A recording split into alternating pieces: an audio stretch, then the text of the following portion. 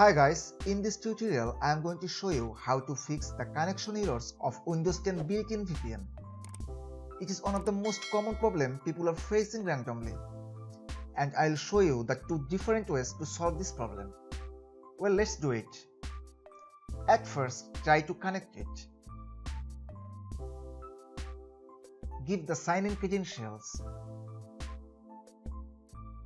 Now click OK and you can see here the error.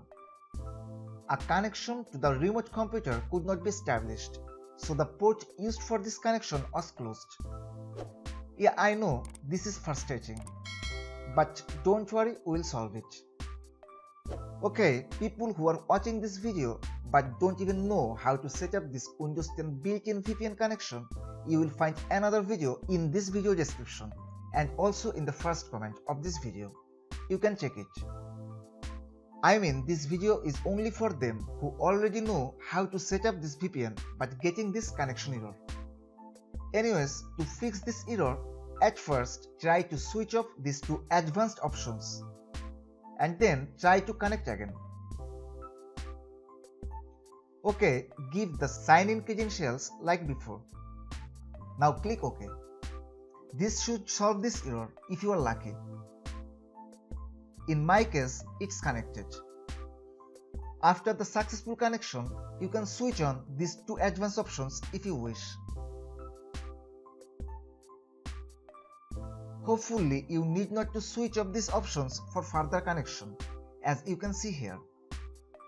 But if you are still being unable to connect it, I mean getting some connection error, then you may have some problems with your network drivers.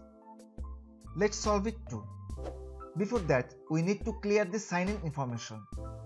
Click on Advanced here and click on Clear Sign-in Info. Okay, now we need to go to the Device Manager option. You can go there through Control Panel, Start menu and there are many other ways like this. Now click on Device Manager. Here click on Network Adapters. Now follow my footsteps uninstall all the drivers except 3. Don't worry, you will not face any problem by uninstalling this because we are going to replace this by fresh ones.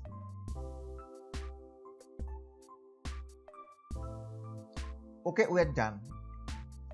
Now click on this computer icon. It's scan for hardware changes.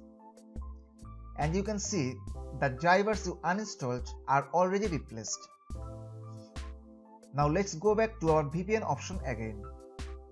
Now try to connect it.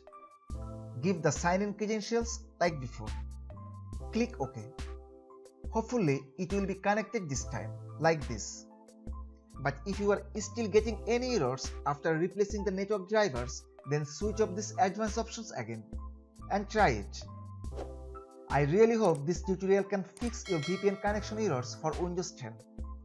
Thank you so much guys for being with me and don't forget to subscribe my channel and stay tuned.